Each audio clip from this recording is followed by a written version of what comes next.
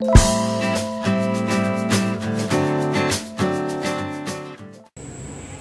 my little zebras! Today I am going to film a living abroad tag where I am going to answer a whole bunch of questions about what it is to live in a different country. Um, there is going to be a decent amount of background noise here. Um, where I am currently, um, there, there, there's people in the streets all the time. There's cars, there's motorbikes, there's buses. Um, so it's definitely different than my other videos that I've had where it's been nice and quiet. Um, that is a huge difference um, from living here in the Dominican Republic rather than back where I live at home. there's just not people outside as much but I've gotten used to it. It actually the the other day I was like, why is it so quiet? and it just happened to be a quiet time of the day. I don't know. So, all right, let's get started. Um, all right, what country do I live in? Obviously, hello, the Dominican Republic. If you don't know that by now, um, yeah, I don't know. Maybe watch more of my videos and give me more views. Thanks.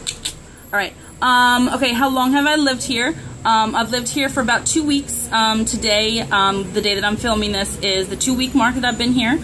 Um, and it's been a very good week, two weeks, a very eye-opening two weeks, a very um, sweaty and warm two weeks. But it's been good. Have you ever lived in another country? No. I've never even been to another country until I met my fiance. So he's definitely uh, opened up a lot of wonderful doors for me here. Um, all right, was it hard to get residence or to get a visa or anything like that? Um, I didn't need a visa to come here. I just needed a passport. Um, and I'm not a resident here. Um, I'm still a visitor. After you get off of the airplane, you have to buy a visitor card. Um, and that lasts for 30 days. Um, I am going to be here longer than 30 days, so when I leave to go back to America, I'm just going to have to pay a little bit of a, a little bit of money. So it's not a big deal at all. Um, okay, what has my worst experience been while living here? I don't feel like I have a worst experience. Um, everything that I've experienced here has just been new and different. I would say anything that would come close to not being the best experience is just getting used to the heat. Um, you know, it is typically 80, 90, degrees. Sometimes the real feel is a real feel is 100. Then there's the humidity on top of it. I mean, we're in the Caribbean, so of course it's going to be hot.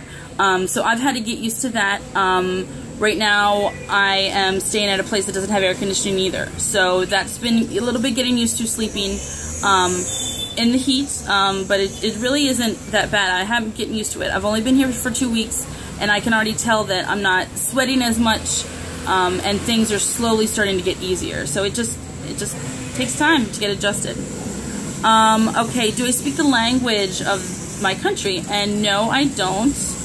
Um, the language of the Dominican Republic is Spanish, and I don't speak Spanish, but I am learning, um, being immersed in the language in church, at work, um, and basically everywhere. Um, I'm slowly starting to pick up some words. I'm also doing my own studying. Um, where I just I'm sort of just playing little games online, um, and I'm starting to pick up different parts of the conversation. As my fiance, who obviously is my personal translator, um, when he's talking to other people, I'm starting to pick out different words so I can slowly get a general idea about what they're talking about. So it's definitely coming. I mean, it has only been two weeks, um, but I, I'm definitely I definitely know a whole lot more than I did before. So good for that. Um, do I miss my family? Of course I miss my family and my friends and my dog, my little Maxie boy. Um, but that's just a normal part of not being with people and with your normal surroundings. I don't, you know, regret regret coming here at all. I am more happier than I've ever been in my life. But of course, I do miss my family. But I've Skyped with my parents many times, um, so we definitely still keep in contact for sure. Um, all right, what things do you miss from home? Um, I think maybe the most thing that I've missed from home is just sort of being able to just jump in my car and go someplace. Sort of the little independence that I that I had as a woman um, that you sort of, I mean, you take for granted. Um, here, my fiance does not have a car, so we do public transportation. We take a bus to work, we take a bus home, sometimes we take taxis. Um, it, it's not a big deal at all. It's just it's taken some time to sort of get used to you know waiting for the bus or sitting on the bus for an hour to get somewhere. Um, okay, what what would you give? Uh, what would you give someone who wants to visit? Like, what what tips or suggestions? If you would come to visit the Dominican Republic, chances are you won't come into the city where I'm living. Um, you would typically go to like Punta Cana or any of the beaches area, beach areas on the outside for like a vacation. Um, so people there speak English. There's obviously hotels. There's all the typical like American type of things. Um, but I'm not here for vacation. I'm here to live, to get married, um, to work, to live a normal life with my future husband.